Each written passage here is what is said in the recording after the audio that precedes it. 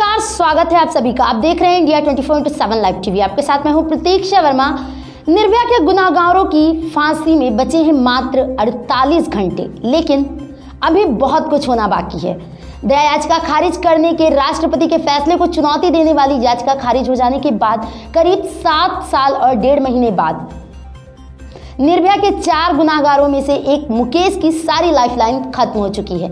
फांसी का इंतज़ार कर रहे निर्भया के चार गुनाहगारों में से एक मुकेश की फांसी को लेकर अब कोई शक और सवाल नहीं बचा।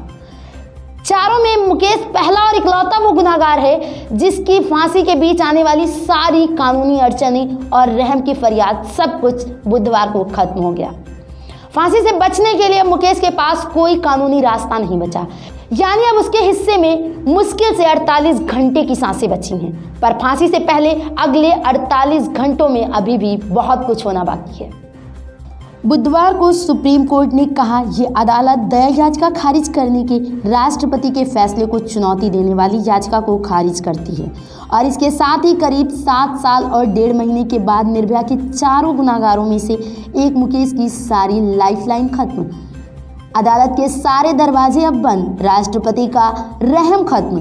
अब मुकेश और उसकी मौत के बीच कोई अड़चन नहीं बची, यानी चार में से एक की फांसी की तस्वीर अब बिल्कुल साफ़ हो चुकी है। पर सिर्फ़ फांसी की तस्वीर साफ़ हुई है। फांसी की तारीख को लेकर तस्वीर अब भी धुंधली है, और ये धुंध इन तीनों की वजह से है यानी अक्षय, विनय और पवन। तो मुकेश की सारी लाइफ लाइन खत्म। दूसरी डेट वारंट के हिसाब से फांसी की तारीफ़ अब भी एक फरवरी है। यानी मुकेश की ज़िंदगी और मौत के बीच सिर्फ़ 48 घंटे हैं। इन 48 घंटों में क्या होगा? क्या मुकेश तय तारीख पर, यानी एक फरवरी को अकेला फांसी के फंदे पर चढ़ेगा? या फिर बाकी तीन गुनागारों के बीच बची लाइफ लाइन के अंजाम का इंतज़ार किया जाएगा? दिल्ली जेल मनवल उन्नीस सौ अट्ठासी के हिसाब से किसी एक जुर्म के लिए अगर एक से ज़्यादा को मौत की सज़ा होती है तो उन सभी को एक साथ फांसी के फंदे पर लटकाया जाएगा। अलग अलग नहीं। अब अगर इस जेल मनवल के हिसाब से चलें तो सारी लाइफ लाइन खत्म होने के बावजूद मुकेश पवन, विनय और अक्षय की बाकी बची लाइफ लाइन के सहारे अपनी लाइफ कुछ और जी सकता है। यानी, जब तक पवन, विनय और अक्षय का फैसला नहीं आ जाता, तब तक मुकेश को एक फरवरी को फांसी पर नहीं लटकाया जा सकता। हाँ अगर सुप्रीम कोर्ट खास इस केस में अगले दो दिनों के अंदर कोई आदेश जारी कर दे, तभी एक फरवरी को फांसी मुमकिन हो सकती है, जिसकी उम्मीद ना के बराबर है। लेकिन इसमें कोई शक नहीं है कि निर्भया के चारों गुनाहगार पूरी प्लानिंग से कानून की कमज़ोरी का भरपूर फ़ायदा उठा रहे हैं। इसकी बानगी बुधवार को एक बार फिर दिखी। सुप्रीम कोर्ट ने राष्ट्रपति की दया याचिका खारिज करने की मुकेश की याचिका जैसे ही खारिज की, लगभग उसी वक्त निर्भया का एक दूसरा गुनागार अक्षय उसी सुप्रीम कोर्ट में क्यूरेटिव पिटीशन का हथियार लेकर पहुँच जाता है।